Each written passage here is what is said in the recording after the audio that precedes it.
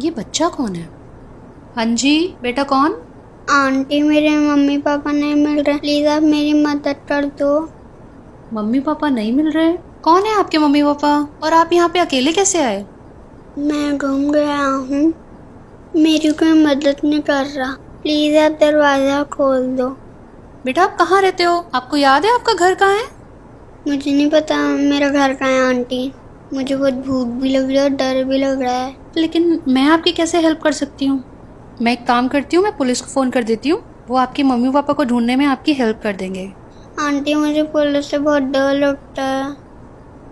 लेकिन पुलिस से डरने की क्या ज़रूरत है? वो तो हमारी हेल्प करने के लिए होती है ना? वो आपके मम्मी पापा को ढूँढने में आपकी ज़रूर हेल्प कर देगी ठीक है? प्लीज़ आप दरवाज़ा खोल दो। फिर आप पुलिस अंकल को फ़ोन कर देना। अच्छा ठीक है।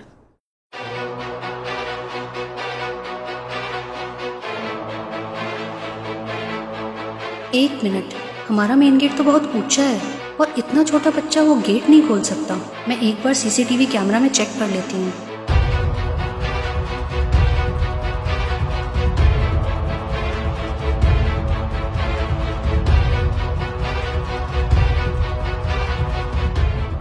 शिट इस बच्चे के साथ ये आदमी कौन है?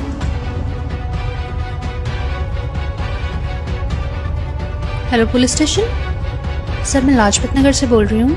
मेरे घर के बाहर एक बच्चा खड़ा है। वो कह रहा है उसके मम्मी पापा खो गए हैं। मैंने सीसीटीवी में देखा है कि एक आदमी भी उसके साथ खड़ा है।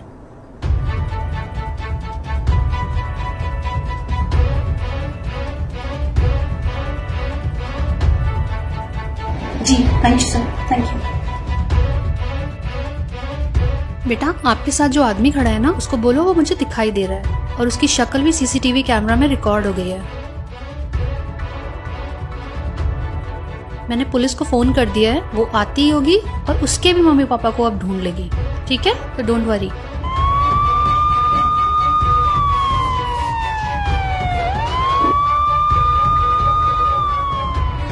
आजकल स्कैमर्स बच्चों के थ्रू भी स्कैम करने लगे और कुछ लोग बच्चों को देखकर उनकी हेल्प करने के लिए आगे बढ़ते हैं। And you know helping someone specially children is a good deed but साथ ही, हमारा कॉशियस रहना भी बहुत ज़रूरी है।